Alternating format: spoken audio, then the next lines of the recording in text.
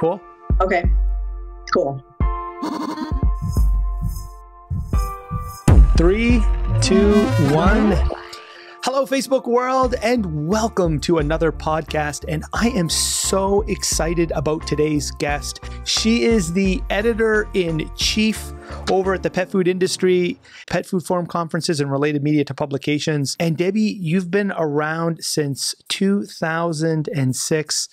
We were just talking earlier about 2007. So, like, your introduction to this industry must have been like, holy smokes. Yeah, I started in August of six, and uh, I had people reporting to me who'd been in the industry a while, and they were able to impress upon me this is a watershed moment for the industry for consumers.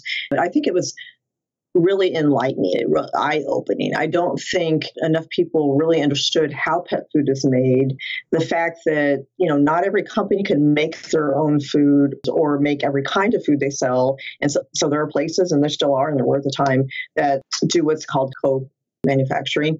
And that's where a lot of the problems happened was from one large co-manufacturer in Canada, in fact. And um, and so I think it was just such an eye opening experience for everyone, for consumers, for the, the industry, for retailers, for veterans. And, you know, that to me was the thing that still sticks with me today. I was listening to a podcast that you were doing with Alltech where you were saying that it was so impactful that it it it was probably the first time that pet owners actually started to question what the heck is in my food. That was like such a traumatic and such a a culture shifting event. And then almost a decade later comes DCM. And what's that doing to the industry today? What is your take on what, what you're seeing, what's happening within the pet industry space? Well, I think you're right. You know, we talked about how the melamine recalls were such a culture shifting, and it's a good, good way to put it. And so then I think when, you know, you get this announcement from FDA, you know, it's the agency that oversees how pet food is made and, and marketed in the United States. and so it's important. And they come out with this alert. We see, we think we see this link between, you know, we see this, we've seen these new cases of canine dilated cardiomyopathy, and they most of them have been eating a grain-free food. So we're seeing if there's a link there. And I I understand where they were coming from, but I think they didn't. I don't think they really understood what kind of impact that would have with there being just so little information. You know, they they they stressed that you know there's no link to no link established. You know, there's we're still doing an investigation, but the headline seized on, oh, is grain free food bad? You know, should I stop feeding my you know should you stop feeding your pet grain free food, et cetera, et cetera. And I mean, it really caused a whole lot of concern and panic and stuff that I think was was unnecessary. Um, the other the other thing that's difficult is as bad as the melamine recalls were, and obviously they were terrible because you know so many pets died or got really sick, and it was awful. Um, the the good part is that they figured out what was happening fairly quickly in a matter of weeks. You know, they were able to do the research and say, okay, this, you know, bad wheat gluten was put in this, you know, was shipped from a Chinese supplier, and um, and you know combined with some other ingredients and cause these, you know, these this kind of cause kidney problems. You know, so they at least were able to identify it. Problem with what's happening now with DCM and has been since their first, you know, FDA's first alert in July of 2018 was that we still don't know anything really. I mean, there's such a complex issue and amorphous issue and that you know there's just no way to know is it these particular ingredients is it how they interact with other ingredients is it genetics because you know there's there's a lot of people in the industry and elsewhere looking more at the whole genetic picture. Um, you know, because DCM has been known to affect certain breeds, but really, if you look at the literature going back several, you know, decades, it's present in a lot of breeds, um, not necessarily prevalent. So it's it's just it's, it's just there's just so little still known, and I'm sure there's the things are farther along than they were in 2000, you know, July of 2018, but not enough for anyone to be able to come out and say anything definitive. And you know that just that just causes all this anxiety and uncertainty and a lot of fear. And I don't blame, you know, I, I wouldn't blame a pet parent for who's feeding grain-free food. Go, oh my gosh, am I killing my cat or my dog? You know, I mean, it, and there are some unfortunately have had their dog, um, or you know, become very ill or even died. So, yeah, it's just it's it's just a it's a really um, there are parallels with the melamine thing, but there are also just vast differences. And you know, it's unfortunate. And I don't. And you know, I've heard that it could take another few years for people for anyone to finally get to the bottom of it because it is such a complex issue and there's so there's almost i wouldn't say there's too many people looking into it but i'm not sure that they're all collaborating all the different people all the different researchers looking into it. So that i think could be an issue too. I remember when i was speaking with uh, dr greg aldrich he thought it could be five years maybe before something could come to surface as what's going on. I, I noticed in the media there's articles now that are out um, there was one that had recently been published. I think it was by uh, NBC. Uh, the title of the article it's it's not going away. Vets still seeing cases. Now, today yes. today Debbie, this is really scary for a pet parent because you have on one side people saying, "Hey, look, you know the data's not there yet. We're still researching. Um, we haven't been able to find a link." But then on the other side, you have you know, specific nutrition colleges like let's just say UC Davis and Tufts as an example. And they keep the recommendations yes. is to stay away from what they term BEG diets, BEG diets.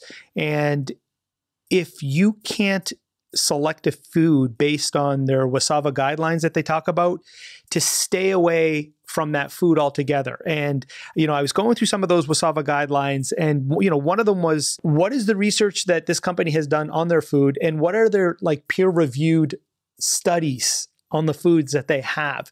Do you think, Debbie, that this is a huge problem for the industry, like especially for a small manufacturer? Can a small manufacturer even meet those WSAVA guidelines? Because when when I go into it, it only seems like there's a handful of companies that could even meet those recommendations? No, there aren't. I mean, it's first of all, I I think the BEG term is. I mean, it's a made up term. You know, it was made up by a group of veterinarians who I'm sure they're very well meaning and, and have good reasons for why they did, but it's not a widely known term within industry. It, it's not a widely respected term, to be quite honest, um, because it's it seems to be taken a whole not even just one category of foods, but you know several categories of foods, and just setting them aside as well. These aren't good, which is not true. And and you know you can't you can't do that with entire categories. And my cat's walking into the picture, by the way. Um, this is Deacon. And um, the other thing on the like, as you mentioned for the WSAVA guidelines, I mean, this is not at all realistic. There are very, very few pet food companies who can afford to do that kind of research or any research.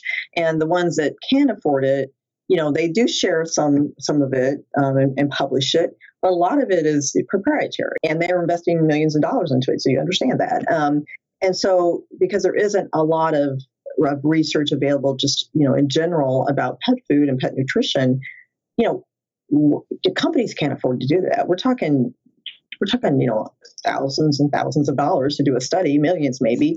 And, you know, to add to that problem, there are only so many ways to do research because there's only so many university programs about companion animal nutrition. It is really, really challenging as a pet parent to go through those guidelines because you're right. I don't think, aside from the big three, I don't think there is a company that could meet those guidelines, and that would make that would basically put the entire industry um, out of business. Yeah, yeah, and um, um, but you know, to, the larger issue of the WSAVA guidelines and, and what are you know pet parents to do and to know there really is so little out there and it's very few companies that can afford to to undertake studies and it's just a fact you know we don't the, pet food industry doesn't have the funding from the government like human food would which you know you can understand to some extent but you know there's just there's just not a whole lot of dollars for it and it's a problem. So do you think debbie grain free is considered of course the darling of the industry um, and reading one of your articles, in some articles, there seems to be now a lag. You know, it was continuously growing, and then now all of a sudden that growth curve is starting to dip. Would you attribute that to what's going on because of DCM, or do you think there's other factors at play? Multiple factors. So, you know, you had um, mentioned when we were corresponding by email that, you know, what you know why was there grain free boom to start with well really it was marketing like i mean there's there's no evidence showing that most dogs or cats do better on grain free, that grains are bad. I mean, even though that's the, you know, that was the whole ploy or the whole, you know, uh, reason behind having grain free was that, you know, that goes back to the whole, you know, eat like the wolf. They would consume a whole prey that would have grains in it. So they would eat grains. And, um, and, you know, there's, again, there's just no, there's scientific proof showing that grains are fine and none showing that they're bad for pets. Um, but, you know, it did take off. And, it, you know, it's grew to what a good 25% of the overall market you know and even much higher in pet specialty and so you know it's it is a, it was the darling uh yeah nosedive for some companies and for the category overall it's flat now compared to growing so def- that the fda alerts have definitely had an impact on the grain free sales not only were the recommendations coming from a lot of these vet colleges on to follow sort of WSAVA guidelines. But something else that's really important that comes out of there is the fact to stay away from raw foods at all costs. Now, I've read in some of your articles that in the categories of food that I know although smaller, the raw food category seems to be surging. But then you have on the polar opposite side these colleges that are saying absolutely stay away. Do you think that there's some sort of misfiring here? What is the confusion you think that's going on here? How can this be allowed to be sold in pet stores, but yet the FDA and the FSMA saying, "Oh gosh, this is bad." Where's the confusion? What's your take on this? That's a good question because it's it sort of confounds me a little bit too. Um, you you pointed out, I mean, there there's a difference between commercially raw pet food, you know, manufactured in a way that is made to be safe and nutritionally balanced and complete and balanced and you know all the meeting all the laws and regulations and then you know a, a, pet, a well-meaning pet owner in their um, kitchen mixing some chicken meat and potatoes and, and rice or whatever and giving that to their dog without knowing what else the dog needs i think that's where it stems from because i think and this is just you know conjecture based on what I've read, um, that I think a lot of veterinarians and the veterinary community in general, very general, big generalization here. I think they they equate raw food with the home you know home fed diets, and there is there have been studies showing that a lot of home fed diets complete. You know, there there actually have been some researchers who've taken a lot. You know, they've taken all these recipes that are on the internet, for example, or in books, and they've made them themselves and then tested them for, you know, what nutrients are available. And they're not meeting the guidelines for a dog or a cat, whichever one it was intended for. And so, I mean, I think that's where it stems from the veterinary bias against raw foods and they're not necessarily understanding that as you said there's commercial foods that you know where they these companies are following um, you know fda guidelines and AAFCO uh, recommendations and ingredients for you know to make sure that they're complete and balanced. So I think that's where that's disconnected. Now for the FDA, um, you know, the unfortunate thing about the Food Safety Modernization Act, although I think it was a really good thing overall, and it's done a lot for the for you know for the safety of foods and pet foods, but FDA decided as part of that that they were going to have zero tolerance for salmonella in pet food, zero which just isn't. I mean, that's more stringent than what human food has. Human food, there's a to- there's a very low tolerance. Pet food is zero, which just isn't realistic because you know salmonella is everywhere in the environment. There's like 2,200 plus strains.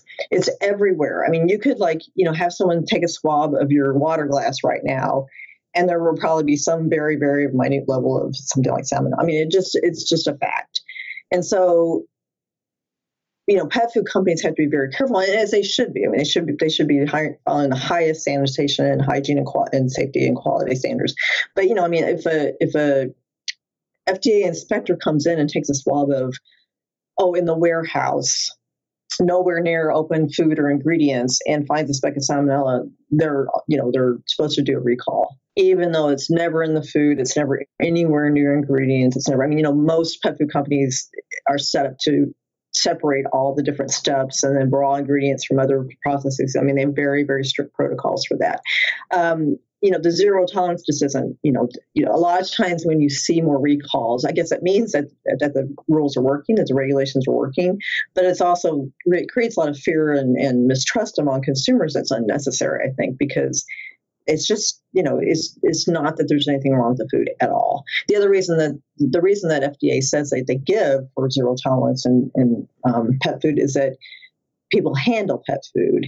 And you know pets themselves don't necessarily always get sick from salmonella but it's handled by people and that people with you know compromised immune systems the elderly they you know they, they have gotten sick from it before. So that's where they come from. You add to that the fact that raw food raw pet food because it doesn't have the kind of, same kind of what's called a kill step that you would have in dry pet food production or wet pet production, where you know the process itself there's enough heat applied that it kills any kind of bacteria. You know, raw doesn't have that same kind of process but there's a verified kill step, and so you know I think FDA is taking this stance that well, raw pet foods is going to inherently be unsafe, and they have cracked down and you know done much more inspections of raw pet foods over the last several years, um, or they've had the state you know feed regulators that they work with to do that. And so that's why you keep getting raw pet foods being in the news with, you know, salmonella problems. You know, again, most of the time it's in the environment and not in the food itself.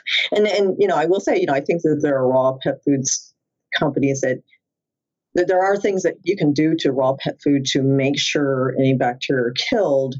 And there's companies that are reluctant to do that because they think it may, you know, like there's a perception that that's not truly raw because it's been treated some way. Well, you you you know you have to find that balance because you have to ensure it's safe. And um, it's a very long-winded way of saying that you know there's different biases at play here. I think the I think the veterinary community has a, a, certain bias, and the FDA has a certain bias. Yeah, and and I appreciate your take on that. I was we were talking about this earlier. How um, I, you know, my my TED talk when I got my letter from TED that was flagged because I hadn't even said the word raw in it. I flashed. I, I remember putting a bowl of, uh, as an example, was like primal pet food, and I put a bowl in it, and I was referring to a study and TED had gotten a letter that uh, the FDA was against all raw food, and veterinarians say it's completely dangerous and it's unbalanced and it's full of bacteria. And I tried to lobby with TED and say, hey, there's commercially available raw that the the FDA, you know, would have had to approve because it's all over stores across the United States and all over the world, but they couldn't decipher the differences. And and I've been seeing that more and more, no matter what article I open up today. Um, you're right. There is a lot of media because there's so many recalls on raw food today, and there'll always be that classic paragraph at the bottom that says, you know, we spoke to a specific veterinarian and they said that raw foods are extremely dangerous. And my frustration is why does nobody differentiate commercially available, balanced, pathogen controlled raw food versus you know, like like you had mentioned, somebody that's whipping up something in their kitchen. Nobody's differentiating those two. Yeah, I would agree, and I I'm not sure what the answers. I I know that, um, you know, there are there are raw pet food companies that um, have done you know a lot of outreach themselves um, there, there was a raw pet food association, though, I think that has sort of morphed into something else, and I'm not sure how active it is. Um, but you know, I, I know that the that that segment of the industry is trying to do more to be more proactive about you know, educating veterinarians, FDA, et cetera, et cetera. I mean, they have to educate the FDA because they have them going in their plan all the time.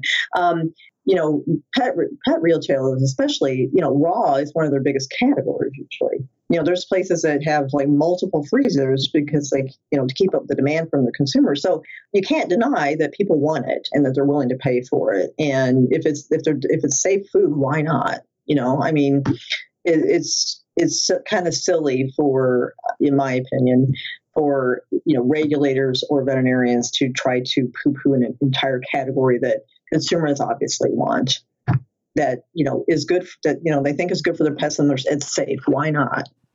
It's it's interesting debbie. If you go into google search and you look at how the media works the like number one like the number one and the number two read articles of course one would be dcm anytime there's a dcm article heavy, heavy hits, but then also raw food. Any single time there's a raw food article out, anything referencing any type of bacteria, it is always the most heavily read article. It almost seems like if if the media wants to get a quick bump or a quick boost, you know, just write something terrible about yes. about that category. It's almost like it's almost like clickbait. Yeah. You know? I want to switch to the magazine because for people that don't read okay. this, can you just talk a little bit about the pet food industry magazine and dot .com?